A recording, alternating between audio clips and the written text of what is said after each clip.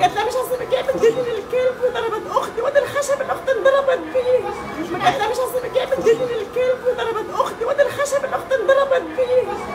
مدورة عليها منيماها راكبة فوقها هي وأمها. والله العظيم والله العظيم والله العظيم. ورحمة بنتي ما أحلفش بها أكيد. بنتي ما تنتساني ورحمة بنتي اللي ساعة ما خش على أمه قاعد يبص في راسها وبص في إيدها وبص في رجلها ساعة جنبي الله يما يخرب بيت الغربة اللي خلت مرات عملت فيك كده.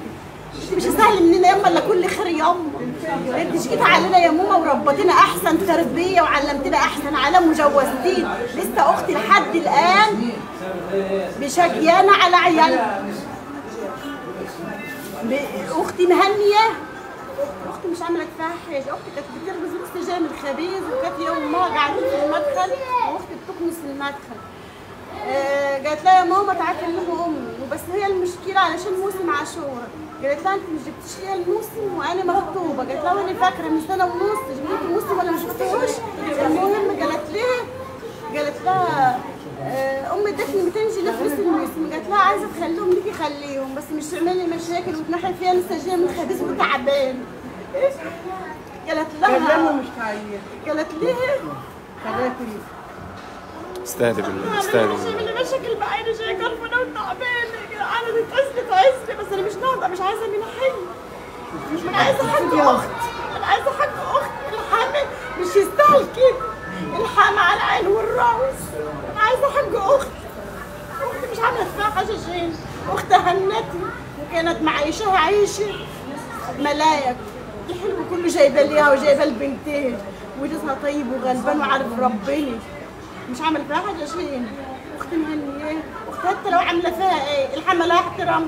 تمشي بأدب واحترام على أبوها. لو حماتها مجوعاها تمشي بأدب واحترام على أبوها. لو حماتها مبهدلاها تمشي بأدب واحترام على أبوها. إنما ما تضربش حماتها الحما على العين وعلى الرأس الحما تنضرب. تنضرب. واختي زي ما أنت شايف كانت قاعدة كنست السلم وقاعدة في طولها كانت بتكنس المدخل بدلها راحت وقاعدة في طولها عادي لو سمحت قاعدة في طولها عادي ما فيش حاجة. لو كان في مشاكل بينها وبين مرت ابنها وفي كره مش كانت قاعدة جنب مرت ابنها عادي كده. ورحت مدورة عليها منيماها راكبه فوقها هي وأمها. وامها حاشت برضه حاشت. أيوه إحنا عايزين نسأل مين ال- الست اللي كانت معاها في الفيديو؟ أمها. رند أمها رندي بنت بنت العراق. أمها دي والدتي. والدتها. أم خمار دي والدتي. واختي اللي انضربت اللي اتشد شعرها اللي انضربت بالشبشب. أختي اللي انضربت بالخشبة. الحمات انضرب بالخشبة.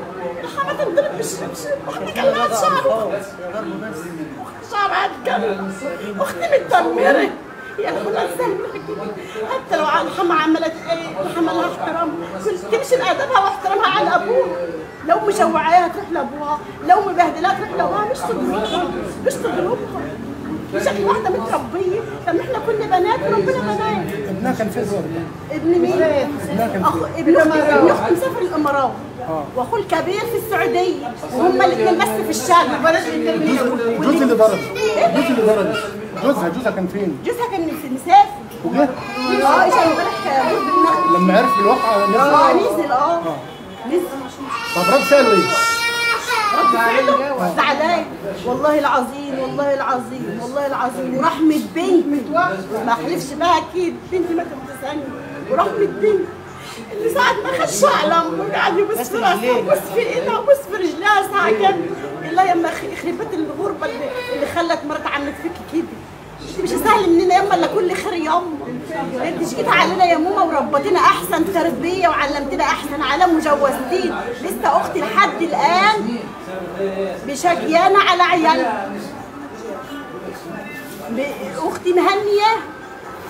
مفيش مفيش أي مشاكل حصلت قبل كده أو أي تعدي ليها قبل كده لا بالضرب لا. صراحة لا عشان دي ولايه وإحنا ولاية. ولايه أول مرة. أول ضربات. أي نعم قبل كده بس عايشة معانا. حرام لا، مش ضربات. ما هو مش ضرب لا مش ما فيش ضربات. ضرب مش ضربات. أول مرة ضرب بس مش. معاملة مش بتتعامل مع شخص زحاف الزواج عشان موسم عاشوره بتتعامل مع مش. وأنا مخطوبة عاوزه تعمل مشاكل بتجر مع حماتها المشاكل. هي كانت عند امها